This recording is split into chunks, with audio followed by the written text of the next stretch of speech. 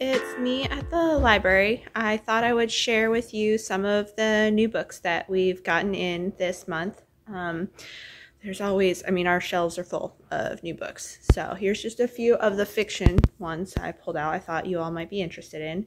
Um, Bombshell by Sarah MacLean, If you're into Regency romances, it's the start of a new series. It says Hell's Belles, Book One. If you're a fan of Karen Kingsbury, she wrote a new book called Forgiving Paris. It's not part of any series, it's a standalone. So, fans of her? If you like historical fiction, especially Hamilton fans, which I love Hamilton, love Theodosia. So, this is the novel of Theodosia Burr and Philip Hamilton. I probably will read this because I'm obsessed with Hamilton and it looks really good. Ken Follett wrote a standalone called Never.